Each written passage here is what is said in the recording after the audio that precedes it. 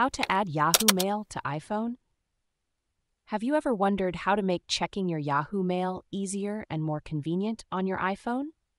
Well, you're in the right place. Adding your Yahoo Mail account to your iPhone can be done in a couple of simple ways.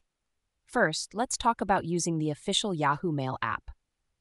You can download this app directly from the App Store. Once you've installed it, open the app and log in with your Yahoo email address and password. If you want to add another Yahoo account, just tap the menu icon at the top left of the app, select Add another mailbox, and follow the prompts to enter your details. Now, if you prefer to keep all your emails in one place, you can add your Yahoo Mail account to the iPhone's built in Mail app. To do this, open your iPhone Settings app. It looks like a gray gear. Scroll down and tap Accounts and Passwords, then tap Add Account.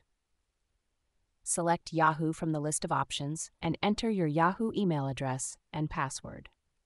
Give your phone a few moments to sync with your Yahoo mailbox, and you'll see all your emails appear in the Mail app. Using the Mail app has its advantages. You can read all your emails from different accounts in one unified inbox. Plus, it's optimized for the iPhone's screen, making it faster and more efficient than checking email through a web browser. If you encounter any issues, like the app not connecting to the internet or crashing, make sure your internet connection is stable and consider updating the Yahoo Mail app or your iOS. Sometimes verifying your phone number updating the app can resolve these problems. So, whether you choose the Yahoo Mail app or the iPhone's Mail app, you'll be able to send and receive emails right from your iPhone, making your email experience much smoother and more convenient.